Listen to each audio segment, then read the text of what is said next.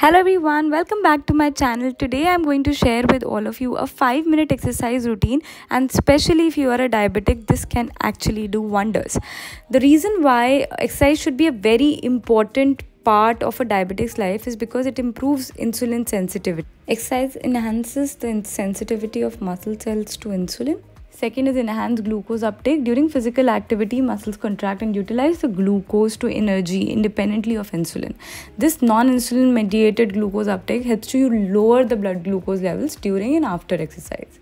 Next is better glycemic control. Now, regular exercise helps in maintaining consistent blood sugar levels. It can prevent the spikes and dips in the blood glucose that is harmful to individuals with diabetics for sure.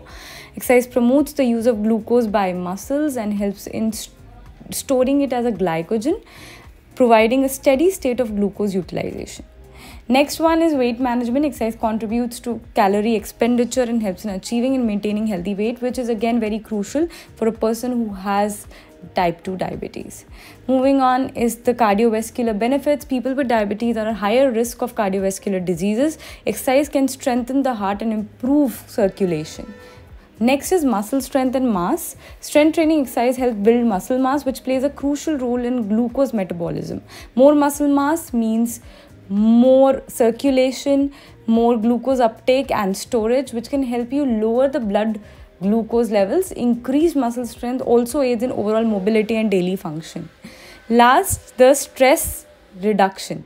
Exercise is known to reduce stress and anxiety, which can directly affect blood sugar levels. Stress hormones like cortisol can cause blood sugar levels to rise. Regular physical activity promotes the release of endorphins, which improve mood and reduces stress leading to better diabetes management again if you are less stressed if you're less stressed you have better quality of sleep and it also helps in reducing your inflammation. Chronic inflammation is a common problem in diabetes and is also associated with insulin resistance. Exercise has an anti inflammatory effect that can reduce markers of inflammation in the body. So, yes, here is a 5 minute exercise that you can do at any time of the day. But particularly if you do it after your breakfast, after your first meal of the day, you get the better uptake of glucose to variety of muscles and help you reduce your blood sugar spike as well.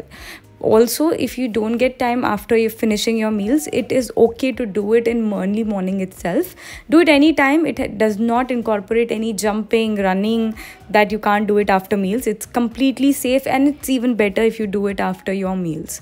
So yes just 5 minutes sitting closely with yourself. You move your calf muscles. The reason why we are moving calf muscles is because it's directly linked to reduce your blood sugar spike and better uptake of glucose by the muscles directly from the calves which is very very important. It increases insulin sensitivity.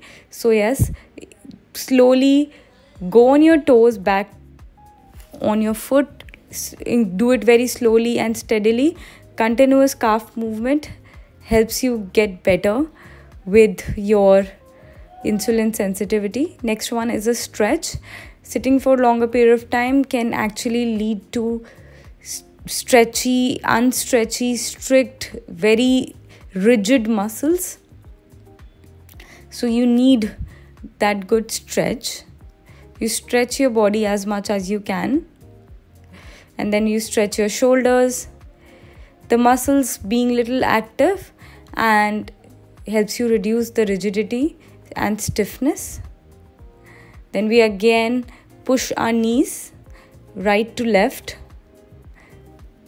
All these exercises needs to be done for 30 to 60 seconds. Helps you get better improved insulin sensitivity, better sleep quality, stress reduction, enhanced mitochondrial function, which indirectly helps a lot if you are having type 2 diabetes. Always remember that diet plays a major role when it comes to any metabolic disorder.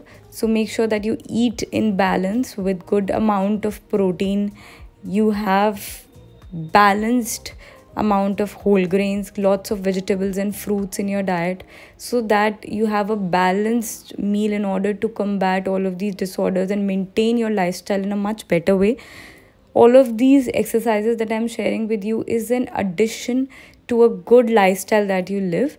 If you're not taking good care of your sleep if you're not taking good care of what you eat you won't be able to see any results. For better management of type 2 diabetes thyroid or pcod make sure that you incorporate a good lifestyle which comes with a healthy diet exercise regularly not just this one but also regular strength training exercise good cardiovascular exercise and better sleep. So when you are good with all the parameters and better lifestyle as a whole then you will definitely see some improvement in management of your type 2 diabetes your hba1c level going down. And definitely these all exercises that i'm sharing with you here are a quick addition to what you have been doing as a part of your lifestyle. You can do it at any time of the day after your meals. You don't need to be at any specific pace. You can do it uh, at your work desk as well. All of these exercises are pretty much workable. Breathing exercise movement of your calf muscles stretching your upper body. All of this can easily be done from your desk itself even if you have like a 9 to 5 job. So yes try to add them to your daily routine uh, as much as you can. And do let me know in the comment section if you find any difference and if you have shared this with person who may need it. Because i know that you might be watching might not need it at right now and you might uh, not be in the trap of this type 2 diabetes yet. But that's okay. Please do share it with people who may need it because there are many in this world who are facing uh, this issue of type 2 diabetes and we have been becoming diabetes capital of the world. So let's promote healthy eating, balanced lifestyle, and doing same things at same time every day in order to get better with your health.